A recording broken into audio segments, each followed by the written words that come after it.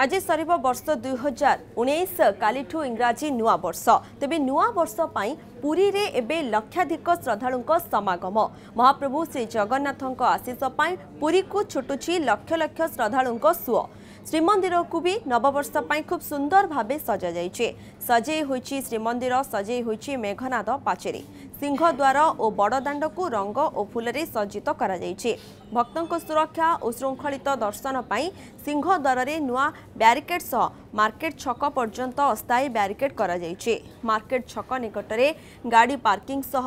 নিঃশুল্ক জোতা মোবাইল ষ্টাଣ୍ଡ মধ্য করা যাইছে ভক্তমানে মার্কেট ছকরু চালি চালি আসি সিংহদ্বার দিয়ে মহাপ্রভুঙ্ক দর্শন করিবে ও অন্য তিন দ্বারে প্রস্থান করিবে এসহ পর্যটক মানে সমুদ্র স্নানর মধ্য ମଜା ନେଉଛନ୍ତି